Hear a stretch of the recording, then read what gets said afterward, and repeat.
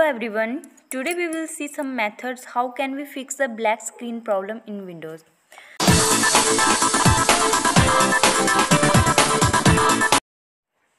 Such problem occurs due to driver update issues. Now see how can we fix it.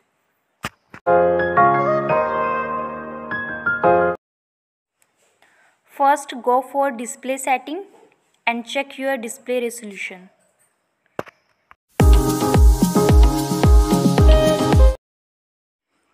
Open device manager, then open display adapter, update driver.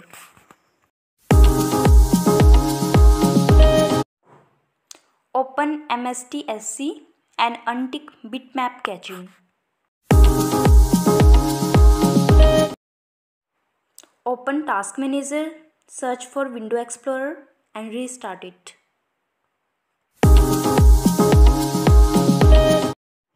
Open command prompt and write command sfc space forward slash scan now and run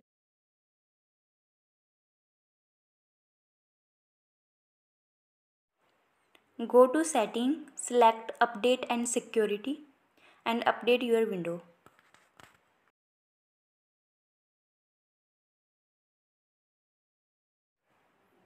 If your problem not fixed with this method, then in last we will go for BIOS. Before this setting, you have to store your important data in pen drive or hard disk. Open Boot Manager. Click on Advanced option. Startup setting. Next click on Restart. And in last, click on fifth option Safe Mode and Networking. If your problem not solved with these all methods, then last you have to reinstall your window. I hope this video is useful for you.